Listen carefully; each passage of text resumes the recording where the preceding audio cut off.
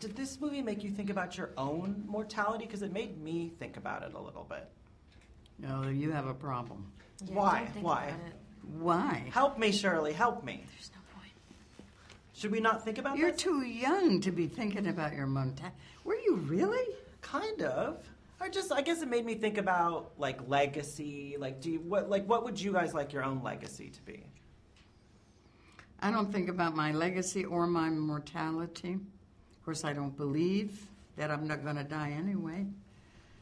Is there a risk? Obviously, this film is about taking risks. Is there a risk in your life that you wish you would have taken that you didn't take? Oh no, um, not ri- in terms of there's to, there's so many different types of risks.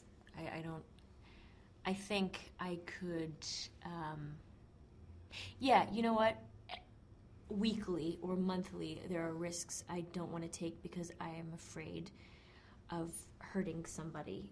I, I wish I could speak more freely about how I feel about about things when I'm being treated the wrong way or when I'm when I feel stuck or in a situation that I feel is unjust.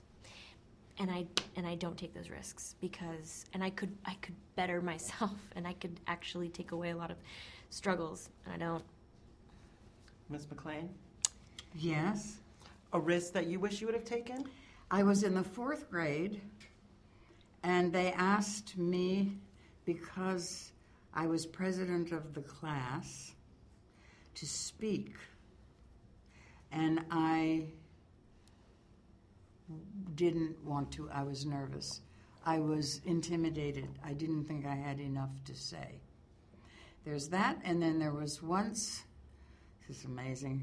I, about Seven years ago, I went for a walk in the woods with a friend of mine, and there was a uh, gully, water flowing, and a log over it.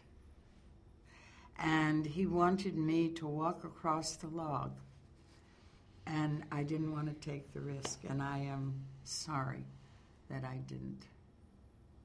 Should I take? Should we? Should I take you to a gully and find a log? We can do that.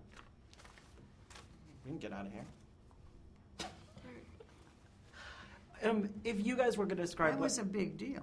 no, I mean that's that is a big deal. You could have. It's you, I mean, I wouldn't have done it. I would have. I mean, I would have fallen. too many possibilities. True.